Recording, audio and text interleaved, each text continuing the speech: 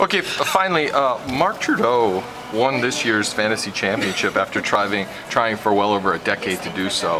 Uh, any comment? Recount. there must have been some sort of error.